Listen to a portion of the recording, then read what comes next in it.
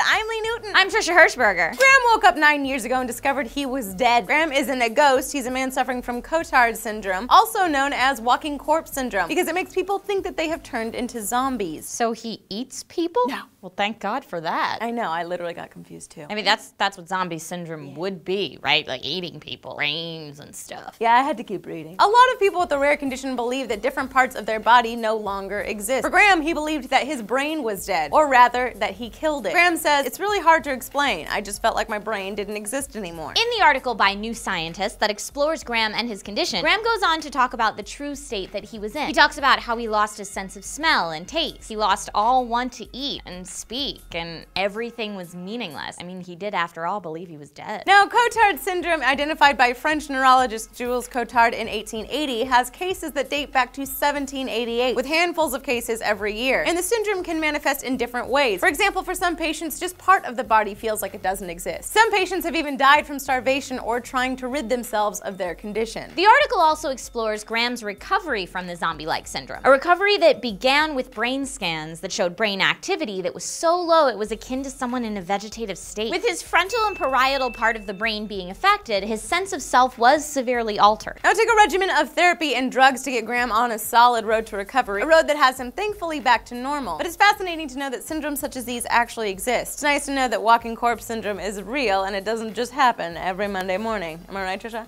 Couldn't do it, could you? No, I couldn't. Monday jokes get me.